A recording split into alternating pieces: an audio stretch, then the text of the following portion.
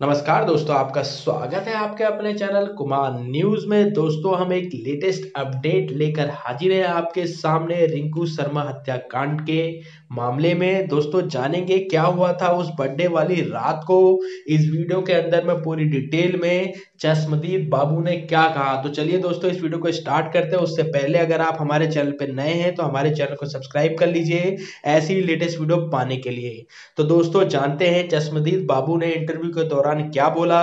दोस्तों, इंटरव्यू के दौरान बाबू ने कहा, मेरा जन्मदिन नौ फरवरी को था। 10 को मैंने अपने दोस्तों को पार्टी दी थी। उस पार्टी में रिंकू, सचिन, आकाश संदीप, गोलू और गोलू के साथ जाहिद उर्फ़ चिंकू आया था। सूरज बोला कि जाहिद को लेकर आऊँगा।